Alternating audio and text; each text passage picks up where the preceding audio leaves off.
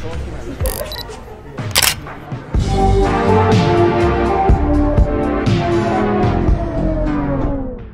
haven't posted in a minute, but to be fair, I did make a whole entire video that was actually really good and I was really proud of it. But YouTube took it down because I guess I didn't I didn't take into account their new policies as of lately. So that's my fault. But if you want to watch the video, it's on my second TikTok account, Films by Tati with an E at the end. That's where I post extras and opinions and stuff that you guys don't see on my main account or here. But for today's video, I'm going to be showing you how to import coloring presets into Magic Bullet Looks. You think this is pretty easy, but I remember when I started and I literally looked at so many videos on how to do this and maybe I was just really slow, but just they never worked for me.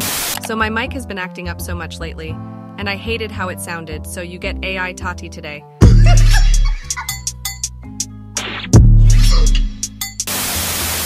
Click Looks and then Edit. Once it pops up, go to Finder. Copy the preset coloring, then close Finder. Next, go back to MBL and go to the Settings thing. Click View Presets folder. Then click Looks. Here's your presets folders where all presets go. I'm making a folder then pasting the preset I copied earlier.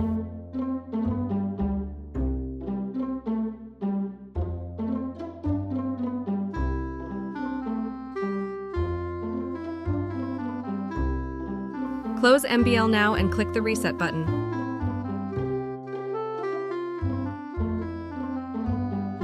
Then open it again and your preset should be there.